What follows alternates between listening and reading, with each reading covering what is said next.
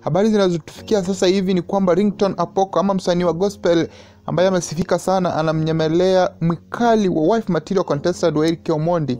Kulingana na screenshot za Eric Omondi aliweka akionyesha Mikali akimwambia kuwa Ringtone ame set up a meeting wakutane pale Ridgeway opposite mall, na Mwikali akamwambia Ringtone anataka wa meet up, unaona, na Eric Omondi akamwambia bora akupee pesa.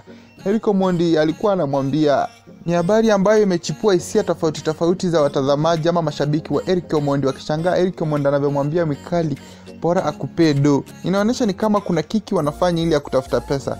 Pia inashangaza kuwa maana Mikali anasema vile Rington alimhug si ya si ya kiki, kuna inaonyesha kitu tofauti yani, na baadaye akamwambia atampea pesa kwa kamera, so kuna maanisha kuna kitu tuna expect yenye wataweka kwa kamera, wataonyesha labda ka video hivi akionyesha venye anampea pesa ama ka program hivi na watapost, na hiyo ndio tunangojea.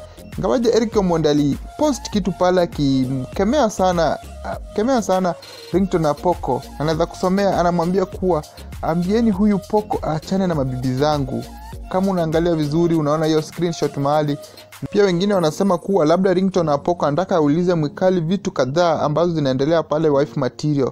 Unajua yeye hupenda kuchunguza watu na anajua ukweli, na labda alikuwa anataka ajue ama pia anataka amsaidie, ama pia ako na hisia za mapenzi na Mwikali. Huwezi jua, huwezi elewa, lakini angalia comments za watu mashabiki wanavyosema. Ukiangalia Mlamwa anamwambia pale wanaume kusaidiana, Kombe zingine zikikuwa za kuchekesha. Hapo pia unamwona Fred Omondi akimwambia asante kwa kutupea sisi wa Kenya namba ya wife hadharani. Unaona maana kwa hiyo screenshot kuna mali alisahau kudelete namba na mafanzi wanaendelea kucomment hapo hivyo. Kuna mengine anamwambia sharing is caring.